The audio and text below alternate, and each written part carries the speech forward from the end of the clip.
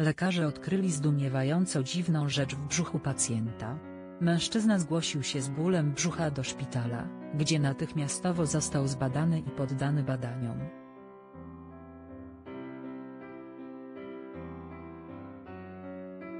Lekarze nie spodziewali się takiego odkrycia. Przecierali oczy ze zdumienia.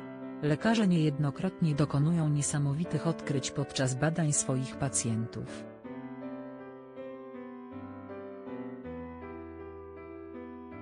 Nie inaczej było w tym przypadku. Mężczyzna zgłosił się do szpitala z bólem brzucha.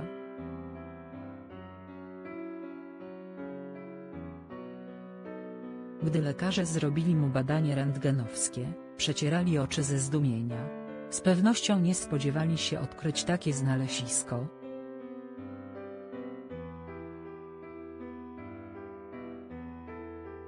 Niesamowity przypadek. Lekarze dokonali niesamowitego odkrycia, czegoś takiego z pewnością się nie spodziewali w prowincji Guangdong w południowych Chinach lekarze dokonali niecodziennego odkrycia.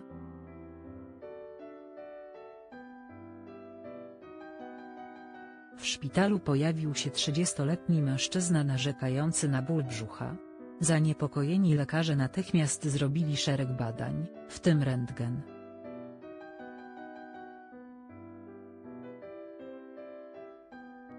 Gdy otrzymali wyniki, byli w szoku. Nie spodziewali się czegoś takiego. Po wykonaniu zdjęć rentgenowskich lekarze byli w prawdziwym szoku.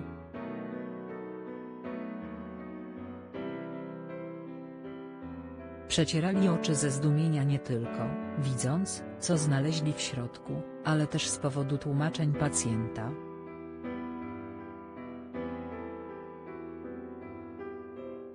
Coś takiego nie zdarza się często. Zarówno 30-latek, jak i badający go lekarze zapamiętają ten dzień na długo.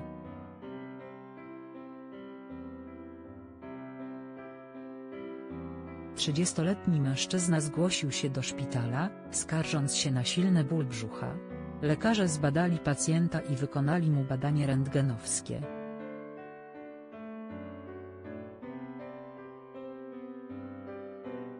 Jak się okazało wewnątrz organizmu mężczyzny znajdowała się ryba. Nie podano jej dokładnej wielkości, jednak wiadomo, że gatunek ten osiąga ok.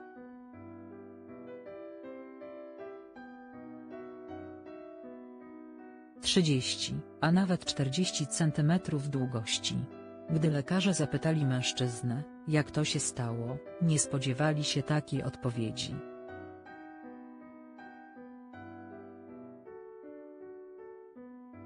2. Może się rozwijać nawet przez 10 lat.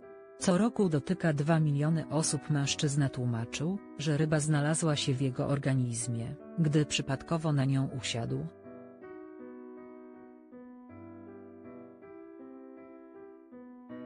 Takiego tłumaczenia nikt się nie spodziewał. Lekarze byli w szoku. Wbrew pozorom tego typu przypadków zdarza się dużo więcej.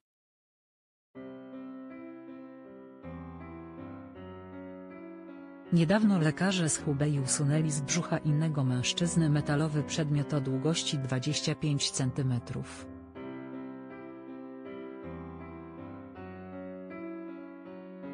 Sześćdziesięcioośmioletni mężczyzna tłumaczył, że usiłował samodzielnie zbadać hemoroidy przy pomocy pałeczki do jedzenia.